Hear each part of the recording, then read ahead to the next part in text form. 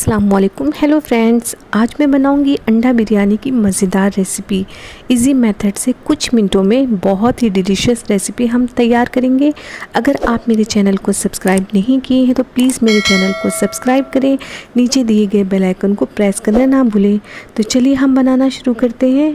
मज़ेदार अंडा बिरयानी. मैंने यहाँ पर एक पैन ले लिया है, हम इसे पैन में बनाएँगे.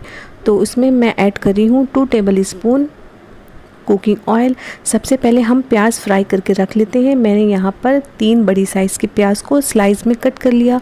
प्याज को मैं फ्राई करूँगी जब तक ये गोल्डन ना हो जाए। यहाँ पर देखिए, प्याज हमारी गोल्डन हो चुकी है। हमें इसे ज़्यादा फ्राई नहीं करना है। जब ये अच्छा से एक गोल्डन कलर हो जाए प्याज का तो हम इसे ऑयल से निकाल लेंगे। हम प्याज को पहले से फ्राई करके रखेंगे, क्योंकि हमें गार्निशिंग करना है। मैंने यहाँ पर पाँच से छः उबले हुए अंडे ले लिए हैं, जिनको मैंने पहले से हार्ड उबाल कर रख लिया था बॉईल करके।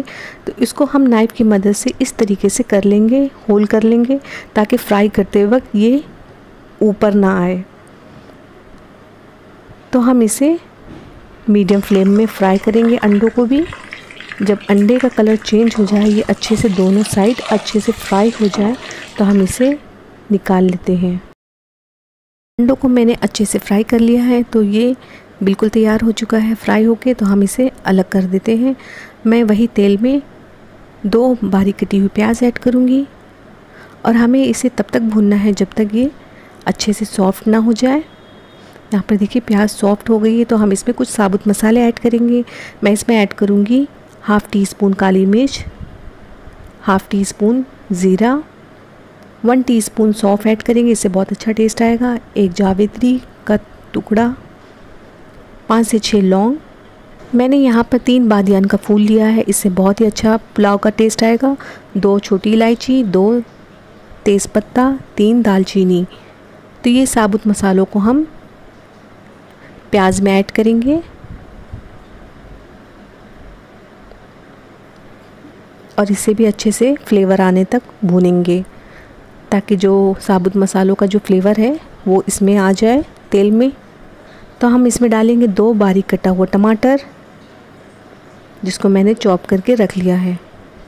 तो ये टमाटर को भी हमने ऐड कर दिया, इसे भी भून लेते हैं दो से तीन सेकंड के लिए। मैं इसमें ऐड करूँगी वन टीस्पून हल्दी पाउडर। ग्रेवी बनाने के लिए मैं इसमें ऐड कर रही हूँ टू टेबल स्पून धनिया पाउडर।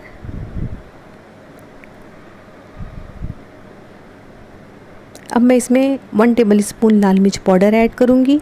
तीखा अपने टेस्ट के अकॉर्डिंग आप ऐड करिएगा जितना तीखा खाना पसंद करते हैं। हाफ़ टी स्पून काली मिर्च पाउडर मैं इसमें ऐड करूँगी garam masala powder half teaspoon मैं इसमें ऐड करूँगी अदरक लहसुन का पेस्ट वन टेबल स्पून जिसको मैंने ग्राइंडर में एक स्मूथली पेस्ट बनाकर तैयार कर लिया था। हम इसमें ऐड करेंगे ग्रीन पेस्ट तीखा अपने टेस्ट के अकॉर्डिंग रखिएगा। यहाँ पर मैंने छः से सात हरी मिर्च का पेस्ट ग्राइंडर में बना लिया है। वो भी हम इसमें मिला देंगे ग्रेवी में।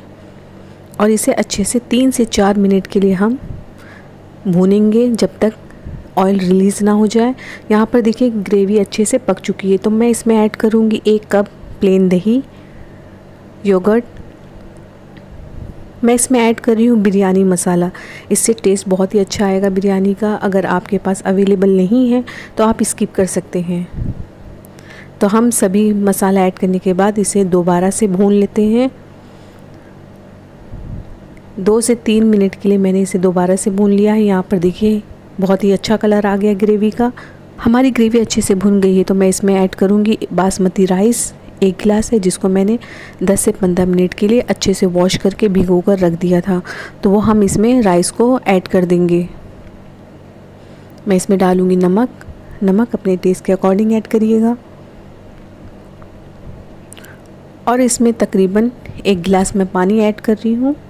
हमें इसमें इतना ही पानी ऐड करना है कि चावल हमारे अच्छे से कुक हो जाए।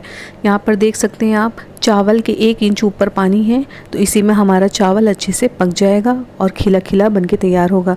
तो मैं इसे फ्राई की हुई प्याज से गार्निश कर दूँगी और जो अंडा मैंने फ्राई करके रखा था, वो भी हम बॉयल अंडों को इसमें ऊपर से रख देंगे। हरी मिर्च भी ऐड करेंगे और इसे ढककर हम कम से कम पाँच से छः मिनट के लिए लो फ्लेम में हम धीमी आँच में इसे चावलों को, बिरयानी को पकाएँगे। आइए चेक कर लेते हैं। पाँच से छः मिनट हो गए और मैंने इसे बीच बीच में स्टर भी किया था। देखिए कितने खिले खिले चावल बनके तैयार हुए और बहुत ही ज़बरदस्त इसकी खुशबू है। खाने में बहुत ही टेस्टी लगेगा। आप इस रेसिपी को ज़रूर ट्राई करिए। तो चलिए हम इसे हरी धनिया से गार्निश कर देते हैं और तली हुई प्याज से। और गर्मा गर्म हमारी अंडे की बिरयानी बिल्कुल तैयार है। तो आपके पास टाइम का शॉर्टेज है तो आप इस तरीके से पैन में बना सकते हैं या फिर आप इसे प्रेशर कुकर में भी बना सकते हैं। आपको मेरा वीडियो कैसा लगा अपना फीडबैक ज़रूर दें। इसी तरीके से अच्छा बनाएँ अच्छा खाएँ। मिलते हैं नेक्स्ट वीडियो में नई रेसिपी के साथ। तब तक ले बाय